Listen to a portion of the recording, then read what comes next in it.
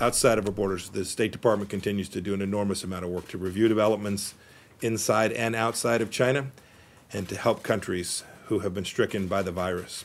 在周二的美国国务院新闻简报会上，蓬佩奥对中共因《华尔街日报》报道中国的疫情真相而驱逐该报的三名记者作为报复一事发表评论。We also want to prod the brave reporters who are covering the spread of coronavirus from Wuhan itself. Expelling our journalists exposes once again the government's issue that led to SARS and now the coronavirus, namely censorship. It can have deadly consequences.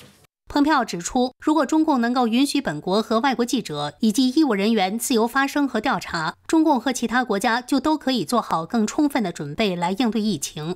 从上周开始，中东国家伊朗突然传出新冠疫情，并迅速恶化。但有报道指出，伊朗当局也在严厉压制真实的疫情信息。美国对此深切关注，并呼吁所有国家公开真实疫情。As of yesterday afternoon, Iran was second only to China in coronavirus deaths. All nations, including Iran, should tell the truth about the coronavirus and cooperate with international aid organizations. 新唐人记者乔安综合报道。